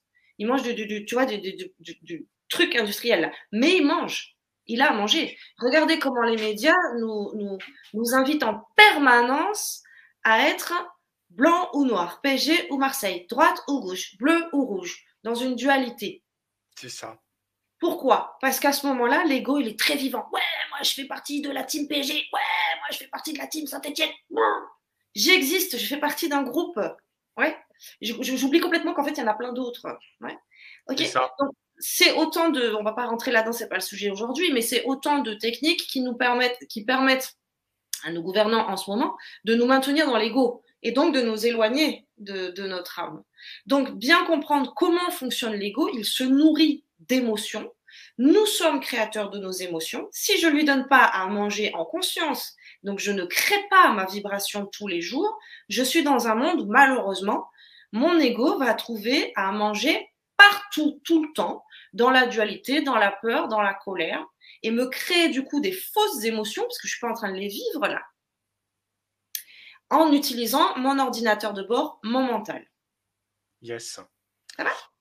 Yes. Donc euh, j'ai une ou deux questions de Audrey, donc il m'avait donné quelques questions, donc elle n'est pas là. Hmm? C'est une de mes modératrices aussi. Elle te demande as-tu vu des manifestations sous forme de petites bulles, comme des bulles de savon?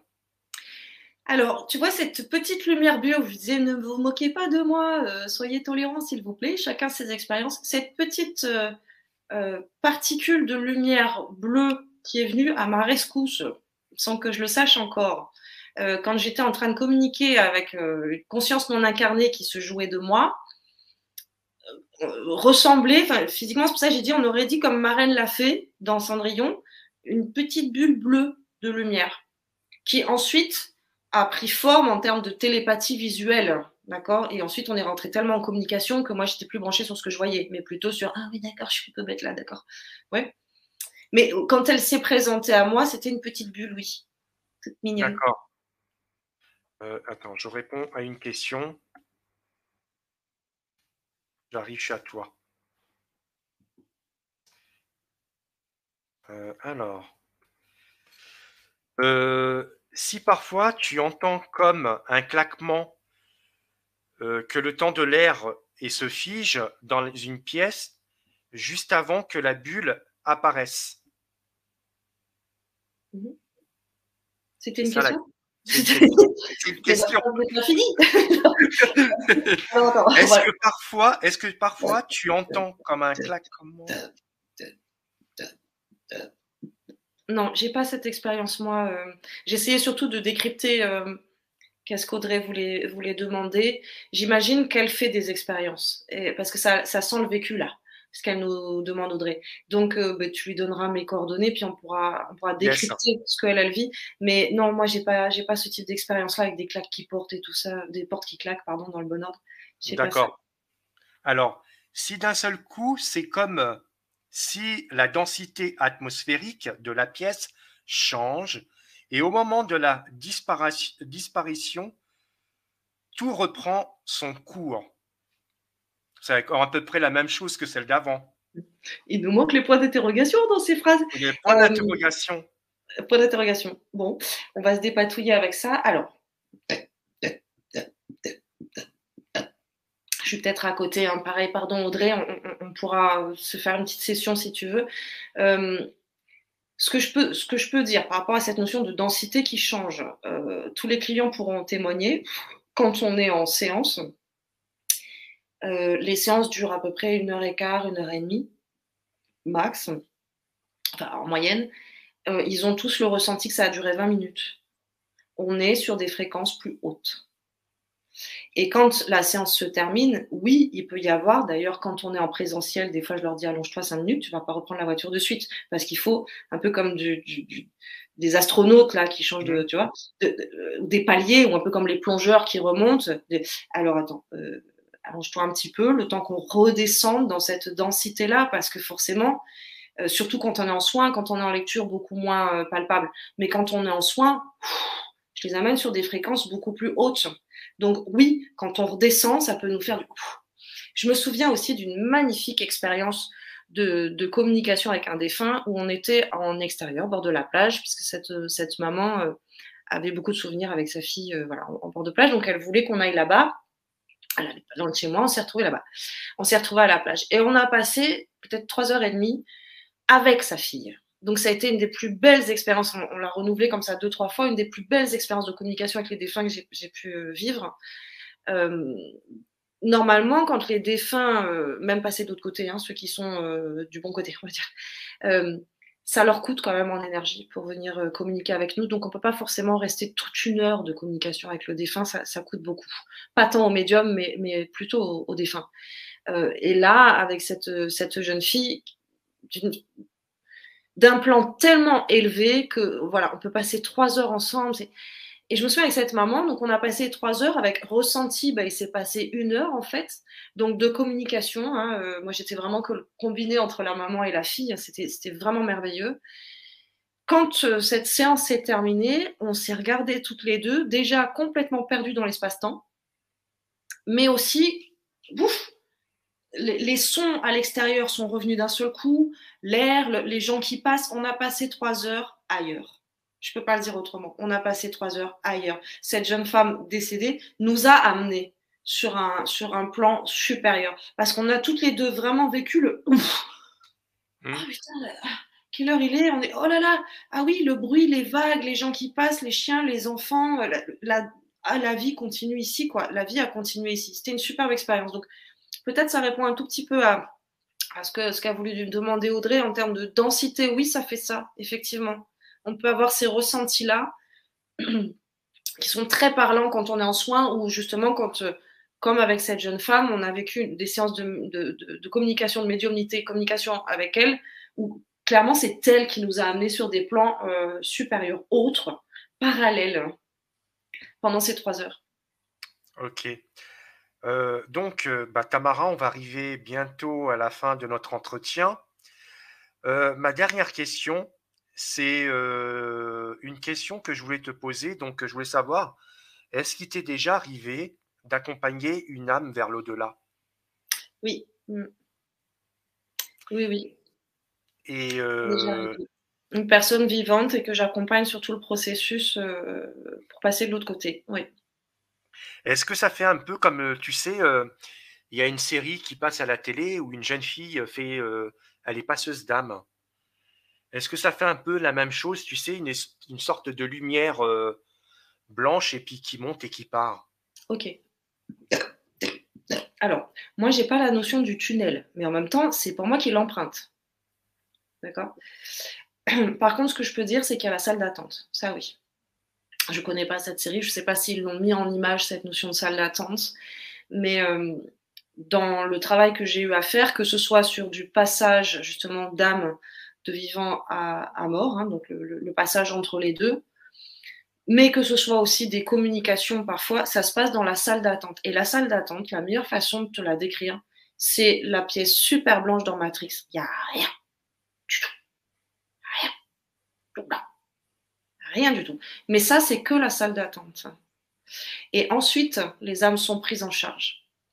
Euh, soit vers un, comment je pourrais dire, un centre hospitalier, un peu, euh, selon, selon la façon dont la personne est décédée ou l'état dans lequel elle arrive, euh, soit vers d'autres plans. Et là, l'histoire se poursuit. Moi, je ne sais pas où est-ce qu'ils vont ou qu'est-ce qui se passe. Je sais mmh. juste que cette salle d'attente, oui, elle, revient dans, dans plusieurs expériences, dans plusieurs témoignages aussi, mais encore une fois, je ne viens vous parler que de mes expériences à moi.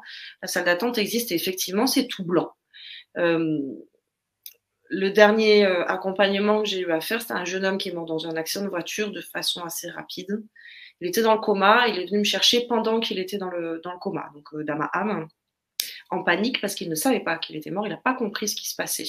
Mon travail a consisté à expliquer à cette âme ben, qu'il était justement en salle d'attente et qu'il avait eu un accident. Et en général, quand tu arrives dans la salle d'attente, tu redescends pas c'est vraiment le, premier step avant la suite. Quoi. Oui.